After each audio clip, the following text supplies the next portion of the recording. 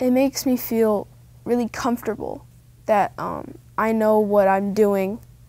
Um, I know that the teachers have my back.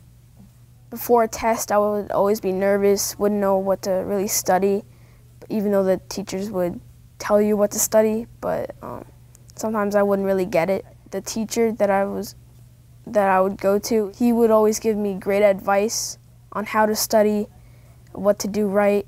At Harvey, I like small classes so I can participate more, ask questions to the teacher if I don't understand anything.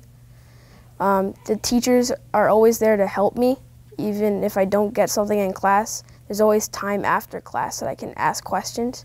Uh, I look forward to going to school in the morning.